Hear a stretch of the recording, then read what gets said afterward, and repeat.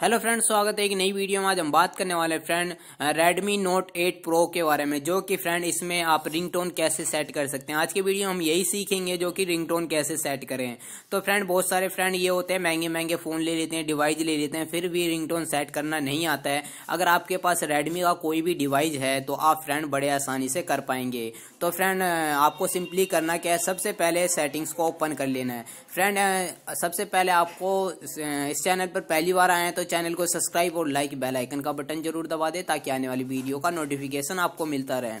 तो फ्रेंड आपको सबसे पहले सेटिंग्स को ओपन कर लेना है। जैसे कि आप देख सकते हैं, मैं सेटिंग्स को ओपन कर लेता हूँ। ओपन करने के बाद यहाँ पे देख सकते हैं आप, आपको साउंड में जाना है। इस पर क्लिक करना है आपको। क्लिक करने के बाद जैसे कि आप देख सकते हैं, यहाँ पे फ़ोन रिंगटोन है तो आपको इस पर क्लिक करना है। इस पर क्लिक करते ही जैसे कि आप देख सकते हैं, यहाँ पे तीन रिंगटोन है फ़ोन के सेटिंग में। एक ये है और एक ये है और एक ये है। तो फ्रेंड आप देख सकते हैं इनमें से कोई सा भी लगा सकते हैं। अगर ऑल रिंगटोन देखना चाहते हैं जैसे कि ऑनलाइन रिंगटोन आप लगाना चाहते हैं तो आप इनमें से भी कोई सा भी लगा सकते हैं। तो मैं आपको फ़ोन वाला लगा के दिखा देता हूँ और आपको अगले वीडियो में ऑनलाइन रिंगटोन लगा के दिखाऊँगा।